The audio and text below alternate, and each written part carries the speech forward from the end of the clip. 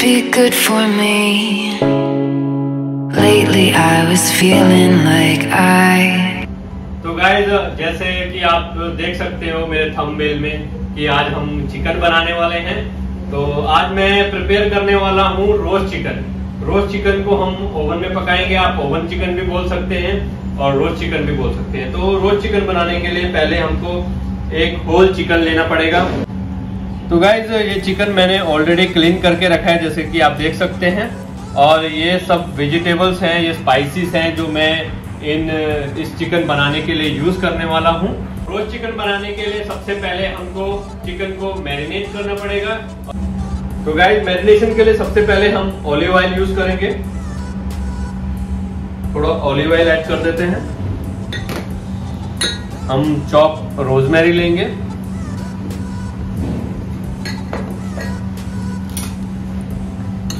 थोड़ा salt and paper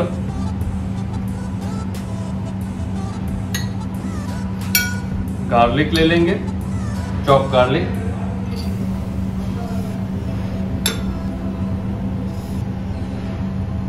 और हम ले लेंगे लेमन जूस और थोड़ा पापरिका पाउडर ऐड कर लेंगे.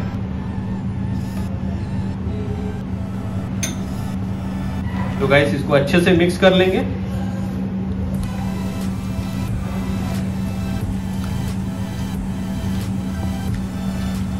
मिक्स करने के बाद अब हम चिकन को इसमें डिप कर देंगे। अच्छे से इसको मैरिनेट कर लेंगे।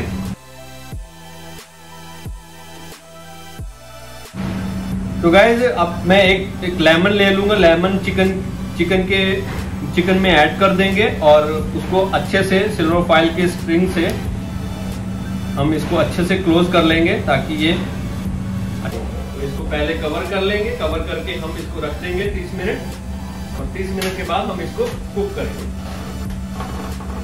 तो गाइस आप देख सकते हैं कि 30 मिनट हो गए हैं। अब हम 30 मिनट के बाद इसको ओवन में कुक करने जा रहे हैं। मैं ये वेजिटेबल भी यूज़ करने वाला हूँ। जो मैरिनेशन हमारा बैलेंस है, उसी उन्हीं, उसी वेजि उसी मैरिनेशन में मैं ये वेजिटेबल्स को ऐड करूँगा।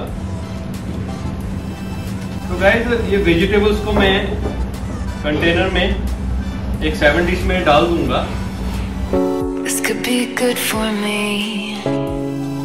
Lately, I was feeling like I तो कवर करूँगा कवर तो गाइस अब मैं इसको ओवन में कुक करूँगा ओवन में टेम्परेचर रहेगा 160 डिग्री और ऑलमोस्ट मैं वन आवर के लिए इसको कुक करूँगा This could be good for me. Lately, I was feeling like I तो गाइस अब हम इसको ओपन करते हैं देखते हैं इसका लुक्स कैसा है।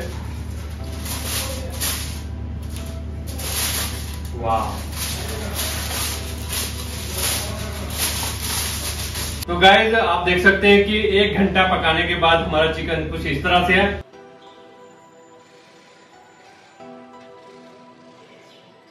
तो गाइस इसके अंदर लेमन जो हमने रखा था, वो निकाल देते हैं। इसको हम कट करके, इसका जो लेमन जूस है, इसमें ड्रॉप कर देते हैं। तो गाइस अब जो हमारे वेजिटेबल्स हैं पोटैटोज एंड मशरूम वो भी हम अरेंज कर लेते हैं।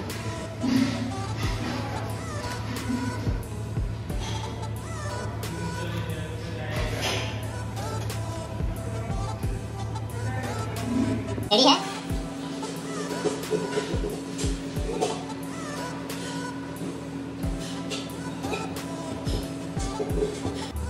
तो गाइज़ आप मुझे बताना कि आपको ये वीडियो कैसा लगा। अगर आपको ये वीडियो अच्छा लगा तो प्लीज़ लाइक कर देना और मेरे चैनल को सब्सक्राइब ज़रूर कर देना, क्योंकि इस चैनल पे मैं बहुत सी वीडियो अपलोड करने वाला हूँ, बहुत सी रेसिपीज़ अपलोड करने वाला तो guys thank you very much for watching me और मिलते हैं न्यू वीडियो में। Thank you